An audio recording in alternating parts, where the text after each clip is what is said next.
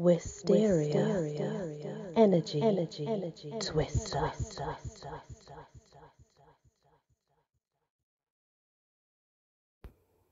Hello everyone, my name is actually Claire, but on YouTube I am Lady Wysteria Energy Twister. Hmm. I tell fairy tales or twisted tales, but I do a lot more for my members.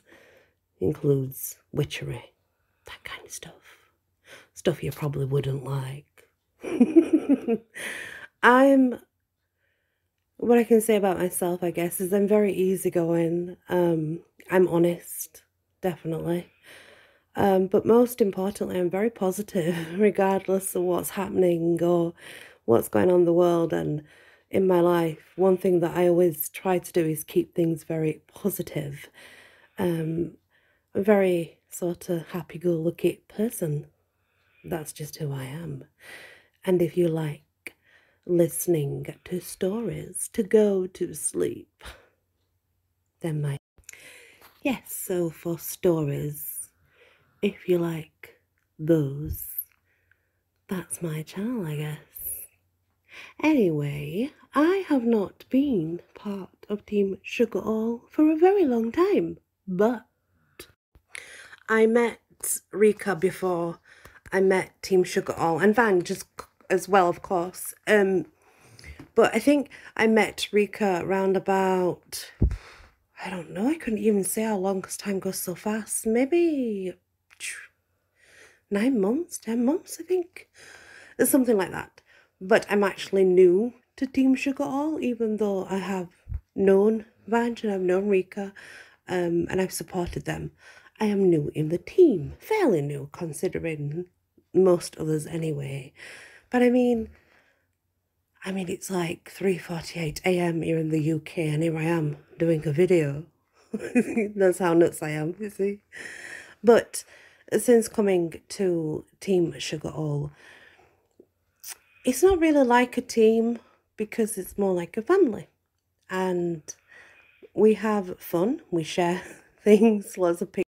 But since they took me under their wing, they really just treated me like a sister.